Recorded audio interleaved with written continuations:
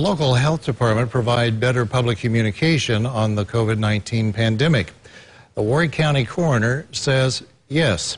She believes the Warrick County Health Department needs to be more open about its 86 cases and 15 deaths, including 13 deaths at nursing homes.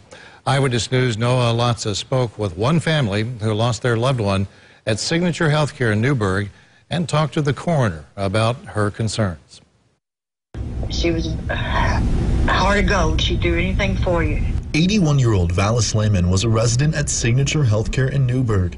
She passed away last week as a result of COVID 19. Her daughter says the assisted living facility didn't do enough to protect her mom. But the whole month of March, I was talking to her, she was fine. That's what I mean. It had somebody there working had to do it because they were the ones that were feeding her, bathing her, and everything because she couldn't even get up and walk. Nursing homes have been a hotbed for the virus. Warrick County Coroner Sarah Seaton says it's taking its toll. You know, the, the staff in those facilities, they come to love those residents and view them as family. Um, and so I know that this is very devastating for them. They're, they're carrying a huge burden on their shoulders to try to keep those um, that aren't sick, keep them safe, and those that are sick to try to get them better. The county's health department has been tight lipped through much of the pandemic. It has not responded to multiple requests from Eyewitness News for comment, and others are saying Warrick health officials need to be more visible. I think with the, the active cases and the number of deaths within Warrick County, I think a daily narrative, or at least a, weekly narrative um, to the public would be a really good thing.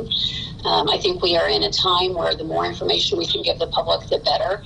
She says everyone is anxious to reopen, but what's playing out in long term care facilities showcases a broader trend. That if we don't continue to distance ourselves, then our homes can look just like these nursing homes. And with more questions than answers, many families are trying to get through their pain like Valis's 13 grandkids who are left without their grandma. Not being able to see them was the worst the last two weeks, not be able to see see my mother, talk to her, hold her hand, or anything. And we, I was always doing that.